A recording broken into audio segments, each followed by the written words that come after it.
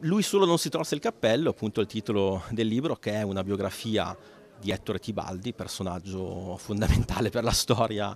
eh, della Val d'Ossola, perché logicamente lui è legato all'ospedale San Biagio, è stato direttore per decenni dell'ospedale San Biagio di Domodossola, ma soprattutto, meno qua sul territorio, è conosciuto perché è stato lui il presidente della giunta provvisoria di governo della Repubblica Partigiana dell'Ossola, quindi personaggio chiave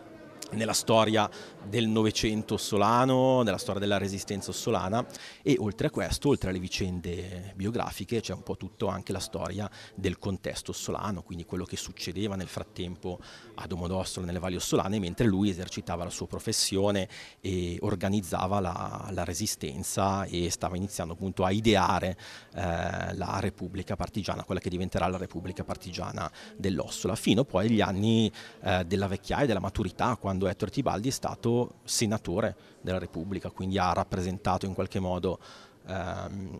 gli interessi della Valdossola nel Senato della Repubblica, arrivando fino a ricoprire la carica di vicepresidente eh, del Senato. Stato, certo, sono contentissimo del, del riconoscimento, che è un riconoscimento prestigiosissimo.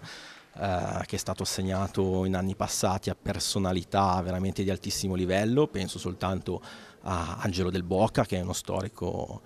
eh, insomma, fondamentale, un caposcuola nel suo, nel suo settore, quindi una grandissima soddisfazione insomma, avere questo riconoscimento da storico, da ricercatore e da ossolano soprattutto. Questa sera abbiamo il piacere e l'onore finalmente, con un leggero ritardo dovuto a cause di forza maggiore, abbiamo l'onore e il piacere di consegnare al dottor Andrea Pazzetta il premio di Repubblica Partigiana dell'Ossola. È un riconoscimento più che dovuto, considerato l'importante opera di ricerca, lo studio che ha portato alla stesura del libro dedicato alla vita di Ettore Tibaldi, un personaggio chiaramente importantissimo per la storia del nostro territorio.